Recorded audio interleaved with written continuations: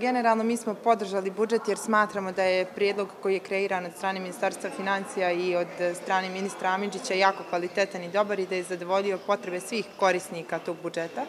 E, stoga nemamo apsolutno razlog da sumnjamo u sve što je predloženo i napisano. Kritike opozicije su uvijek prisutne i to je nešto što je i očekivano jer to jeste posao opozicije da kritikuje. Međutim, ono što meni nikako nije jasno, to je to silno njihovo licemjerstvo gdje stalno govore da žele dobre institucije Bosne i Hercegovine, da su one uslovne za rad, da su one reprezentativne, da su ovakve, da su onakve, a vi imate e, razne na odjeljenja uprave za indirektno oporezivanje gdje mižu zmije, gdje ima raznih štakora, o čemu ste vi izvještavali, to smo iz medija čitali kako u kancelarijama uprave za indirektno porezivanje ima zmija i onda kad neko odluči se da se to pitanje za vijek vijekova riješi, da se tim ljudima daju e, uslovi dostojni za rad svakog čovjeka, onda se pojave ovakvi luzeri da pričaju o koje kakvim štimanjima i slično. Druga stvar, koliko je meni poznato, oni su mnogo stariji od mene i mnogo duži i veći parlamentarni staž imaju. To je jedan od kapitalnih projekata projekata koji je godinama unazad planiran,